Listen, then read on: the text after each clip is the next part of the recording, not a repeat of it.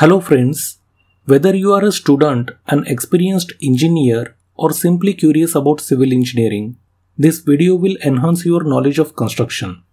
So let us get started. Slump test for concrete workability. The slump test measures the consistency of fresh concrete. A typical slump for normal concrete is between 75 to 100 mm. If it is 75 mm slump, it indicates a drier, more workable mix suitable for structural applications. If it is 100 mm slump, it indicates a wetter mix that is easier to handle, making it better for intricate forms. Curing period for concrete. The recommended curing period for concrete is at least 7 days for ordinary Portland cement. Why 7? Because on day 1, concrete attains 20% of its strength. Day 3, reaches 40 to 60% strength. Day 7 achieves around 70 to 80% strength. Hence, during this period, curing is essential to minimize the risk of cracks. Minimum clear distance between reinforcing bars. The minimum clear distance between parallel reinforcing bars should be at least the diameter of the larger bar or the maximum size of the aggregate plus 5 mm whichever is greater. Example, you are using a 16 mm diameter rebar and 20 mm aggregate. The minimum clear distance would be the greater of diameter of the larger bar that is 16 mm or maximum aggregate size plus 5 mm is equal to 20 mm plus 5 mm that is 25 mm. In this case, the minimum clear distance should be 25 mm to ensure adequate spacing for proper concrete placement and strength.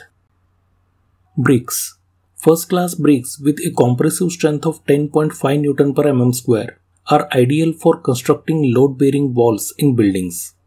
For example, in a multi-story structure, these bricks can support significant weight safely.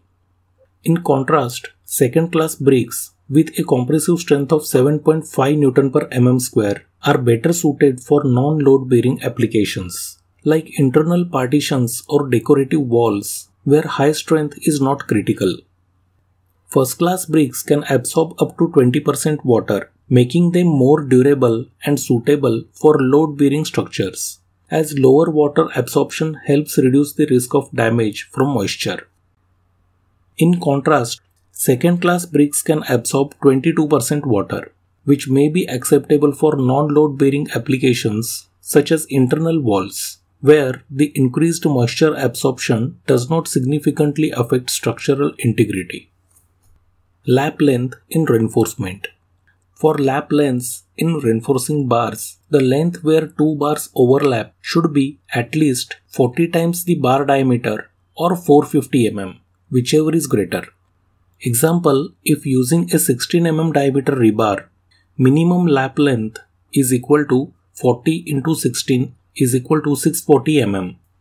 Since 640 mm is greater than 450 mm, the lap length should be 640 mm. This ensures proper load transfer and structural integrity. Factor of safety. The factor of safety is the ratio of ultimate load carrying capacity of a structure to the actual applied load. It is used to account for uncertainties in material properties, construction quality, and design assumptions. FOS is equal to 15,000 kg divided by 10,000 kg. That is, FOS is equal to 1.5. In this example, a factor of safety of 1.5 indicates that the beam can handle 50% more load than what is expected under normal conditions. This extra capacity accounts for uncertainties such as variations in material strength potential overloads, and imperfections in construction. By using a factor of safety, engineers ensure that the structure remains safe and functional even if unexpected loads or conditions occur. Admixtures Admixtures modify concrete properties, improving workability, strength, and durability. Example given Water reducing admixtures are used to improve workability without adding extra water. These type of admixtures are generally used in high-rise buildings. accelerators. Admixtures like calcium chloride can be added to speed up the setting time of concrete. In cold weather construction, an accelerator helps ensure that the concrete sets quickly. Retarders are used to delay the setting time of concrete. They are beneficial in hot weather conditions. Now the next point is curing methods for concrete. Water curing. This involves keeping the concrete surface wet by spraying or submerging it in water. Membrane curing. A curing compound is applied to the surface to form a moisture retaining film. Example, after pouring concrete for a sidewalk, a curing compound is sprayed to seal in moisture without needing constant water.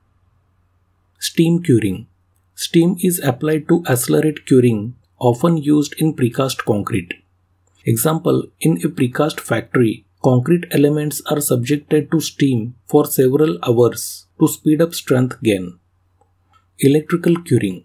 Electrical currents are passed through the concrete to generate heat, enhancing hydration. Generally, electrical curing is used in a cold weather. Types of roof trusses. King post truss. This truss features a central vertical post that is king post supporting a horizontal beam. It is often used in small structures like cottages or sheds. It can span up to 6 meters. Queen post truss.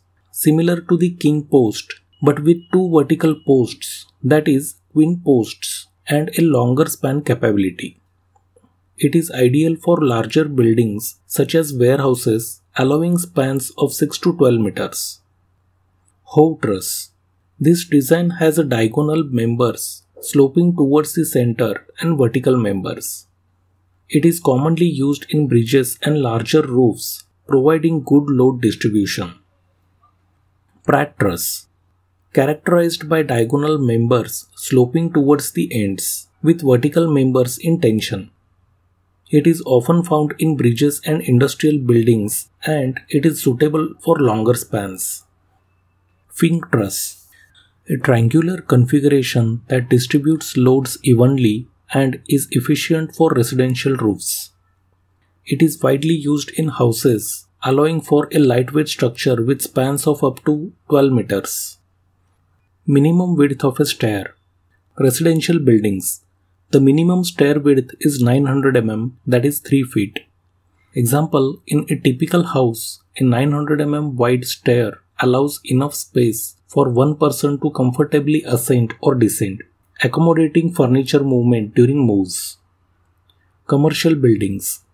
The minimum width is 1200 mm, that is 4 feet. Example, in an office building, a 1200 mm wide stair provides ample space for multiple people to use the stairs simultaneously, ensuring safety during busy times such as evacuations. These width standards help prevent congestion and improve safety in different building types. Types of dams and bridges. Some common types of dams include gravity dams, arch dams, buttress dams, and embankment dams. Gravity dams. These are massive structures made of concrete or masonry relying on their weight to resist water pressure. Example Bhakra Dam in Himachal Pradesh. This massive concrete dam on Satluj River is one of the highest in India and plays a crucial role in irrigation and hydroelectric power generation. Arch dams these dams have a curved design that directs water pressure on the canyon walls, allowing for thinner construction. Example, the Glen Canyon Dam in USA is an arch dam that efficiently utilizes its curved shape to withstand the forces of the water. Buttress dams. These consist of a series of triangular supports called buttresses on the downstream side, providing strength while using less material than gravity dams. Example Cochrane Dam in Canada. Embankment dams. Made of earth or rock, these dams rely on their mass and material strength to resist water pressure.